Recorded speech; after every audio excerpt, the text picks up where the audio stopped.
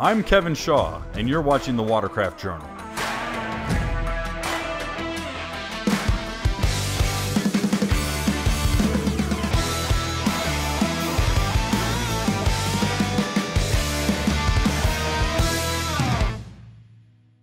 Sea-Doo effectively opened up a world of convenient, easy travel with the introduction of its LinQ accessory system back in 2018.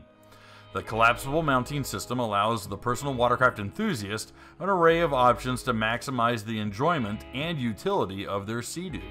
Whether it's storing an extra change of clothes or a large beach blanket in the soft-sided storage tote, loading up plenty of drinks and snacks in the 4.2 gallon floating cooler, or packing an extra 3.8 gallons of fuel to push your day's ride just a little bit further, the LinQ system is easily one of the brand's best additions. Unfortunately, when it came to Sea-Doo's Fuel Caddy, certain concessions were required to be made in order to be sold worldwide. Of those was the incredibly restrictive filler neck. Admittedly, we broke off the restrictive collar and spring-loaded snout early last year and haven't regretted it. Well, okay, maybe a little. But thankfully, since we don't live in California, we're not concerned with complying with their draconian rules.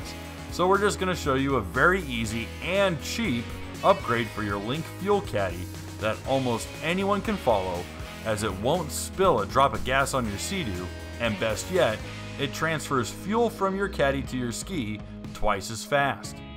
From the factory, the LinQ Fuel Caddy is pretty great.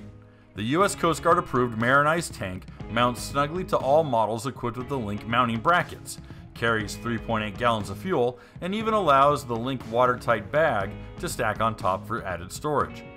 A rubberized boot on a durable tether caps the filler spout when not in use, and all hardware is treated to resist corrosion from saltwater. Unfortunately, the locking spout just plain sucks.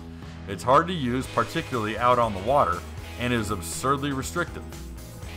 For a mere $10 at www.easypourspout.com, we picked up their flexible fuel spout and vent kit.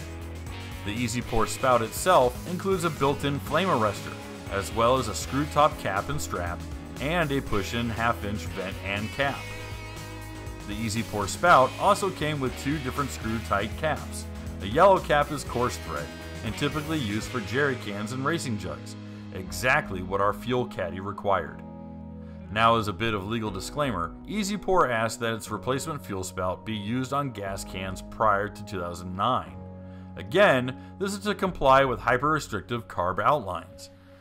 The modification should really only be used by those of you not living in states and regions complying with these decisions.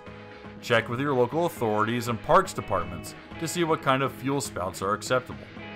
Installing the EZ-Pour spout is as simple as removing the rubber cover, unscrewing the old cap, and removing both it and the locking collar from the caddy's threaded neck. The new spout installs easily. Simply slide the yellow cap over it and tighten it down. The spout's cap also screws on snug. Threading on the strap requires looping it around and sliding the barbed end into the cap's tab. Since we didn't require the rubber cap anymore, we removed the top using a Torx 30 wrench. The end tab of the rubber cap simply slips out of the base plate, allowing you to tighten it back on. The final step was installing the vent. As you're pouring fuel, you want the cap to be as opposite from the spout as possible.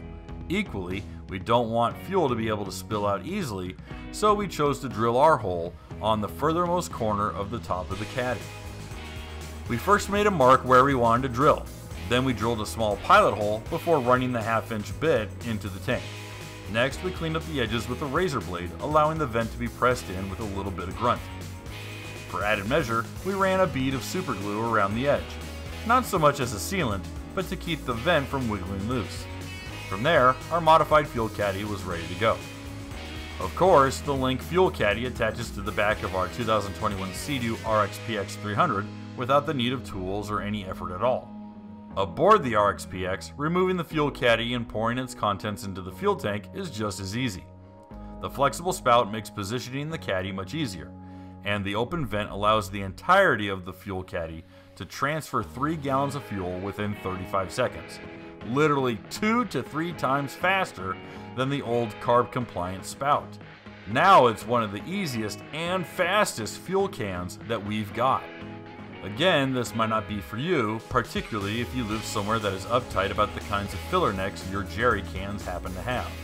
So please make sure to do a little background check to make sure you won't be issued a big hefty fine just for swapping out your fuel caddy spout.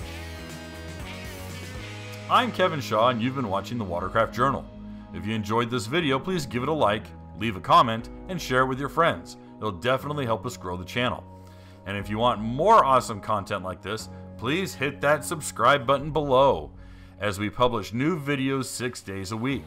Equally, please visit us at www.watercraftjournal.com where new and informative articles and reviews are published every day, Monday through Friday, entirely subscription free to you.